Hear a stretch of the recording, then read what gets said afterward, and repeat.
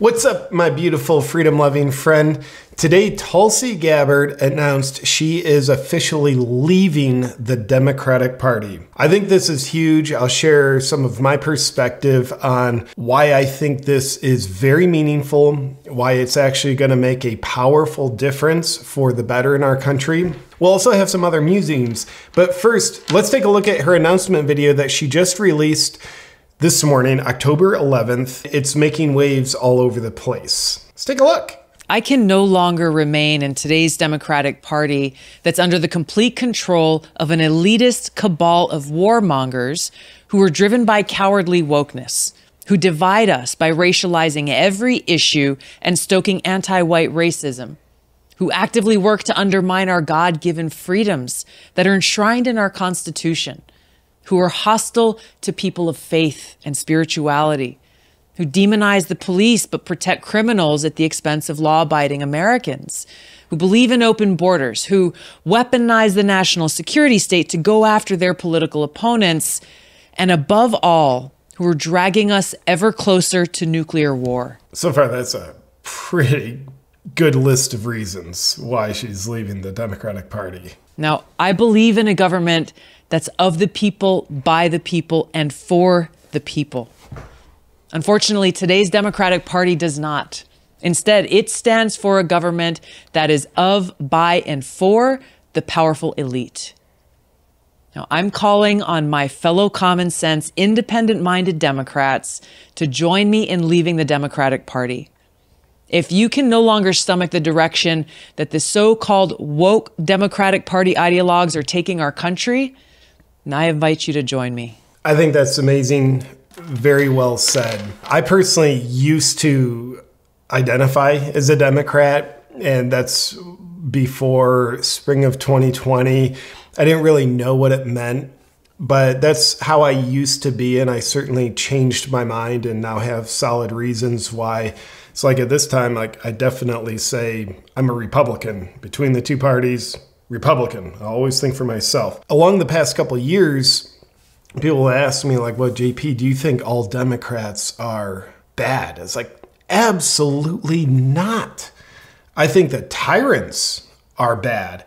And unfortunately, right now, they've chosen the Democratic Party to infiltrate and then puppet strings from there kind of thing. But along that way, I've always said there's so many Democrats I respect. And I, I said, dude, in a heartbeat, I would even vote for a Democrat for president, specifically Tulsi Gabbard. I guess I there's probably not Democrats I would vote for president anymore because she is no longer a Democrat. So, with that said, here's why I think it's so powerful why she's changed her mind about the Democratic Party.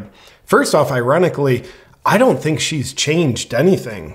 I think, unfortunately, the Democratic Party has very much changed. We all know great people who have called themselves Democrats, and they're not the evil tyrants, they're good people. But what they stand for isn't what those who control the Democratic Party are now doing. We, you know, we know how extreme and radical the left has gotten. So I think you got Republicans, Democrats, and then kind of the middle. But these leftist elitists who have gotten into power and maybe control people in power, they've just gotten so far this way.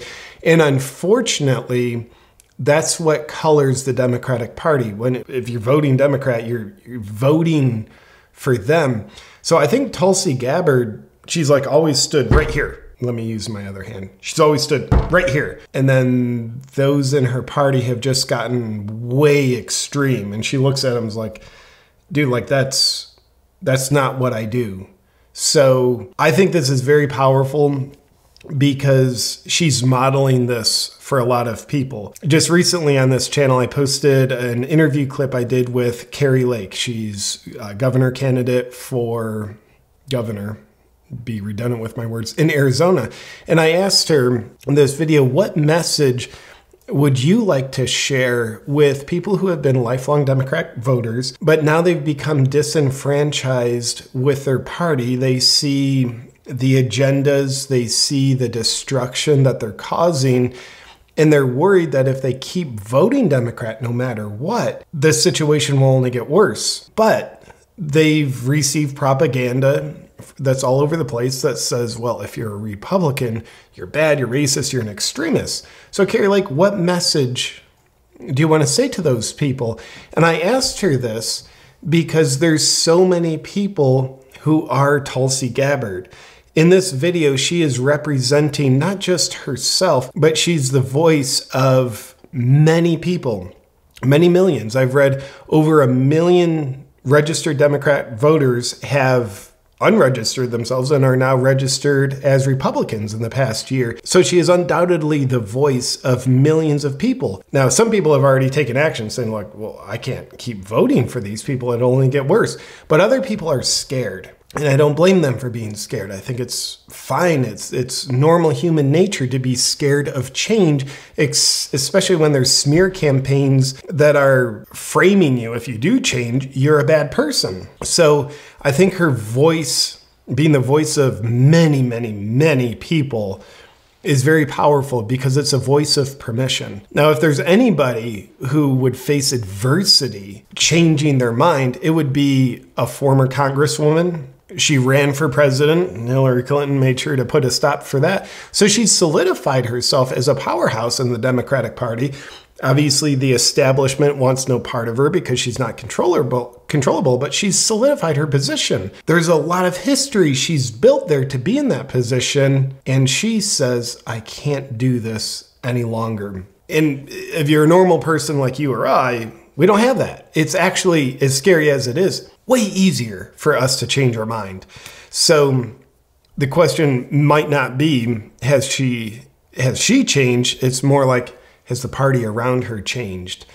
And I think a lot of people who have been Democratic voters, they look at what the Conservative Party currently stands for, which in a nutshell is freedom and the Constitution. And they're like, well, damn, I don't agree with everything y'all say, but the most important stuff, that's what you guys are standing for now. Maybe I can vote for you. And I want to say this right now, 2022, the majority of the tyrants are politically aligned left. And I look forward to the time in the coming years where the current problems are solved and then the tyrants infiltrate the right. I want y'all to be the first to know the right already has tyrants, but the majority of them are on the left. But I want you to know when that happens, when the majority of tyrants say, like, dude, okay, hiding on the left, they found us. Now we gotta find a more devious place to hide. We'll just go to the opposite direction. We'll go on the right. When that happens, I want you to know I'll be the first one to leave the Conservative Party. Right now, I love what they stand for. I don't agree with everything.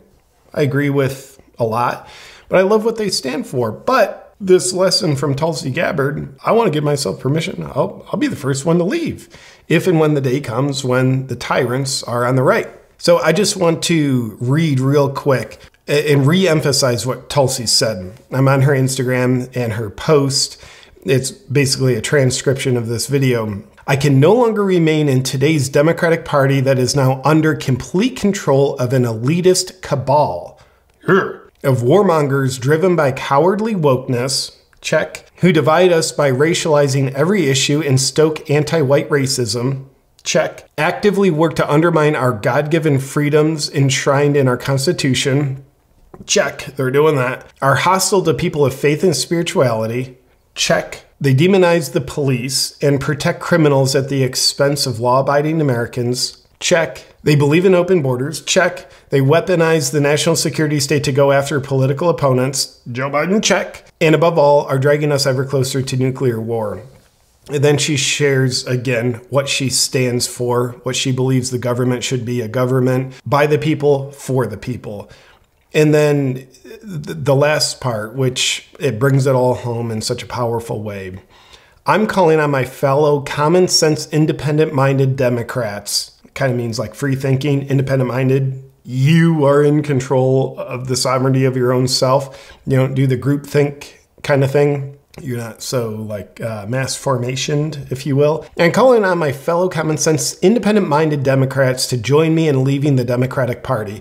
If you can no longer stomach the direction that so called woke Democratic Party ideologues are taking our country, I invite you to join me. That's the most powerful part. We don't need Tulsi Gabbard to leave a corrupt party. We need we the people to keep leaving a corrupt party. And Tul- Tulsi being a powerful voice for many of we the people and calling on us to rise up if we resonate with her perspectives, to rise up and, as Gandhi might say, be the change we wish to see in the world. This video of Tulsi Gabbard's is one of my favorite things I've seen in a long time because we all see problems, but we, what we need more than just seeing the problems is solutions to the problems. We know nothing changes unless something changes, and something's never going to change unless you and I are the change. So, this is what she is inspiring in a lot of people. And because you love freedom, I appreciate you taking a little bit of time to watch this momentous video with me of Tulsi Gabbard's. And Tulsi, I want you to know you are an inspiration. Stay free, my friends.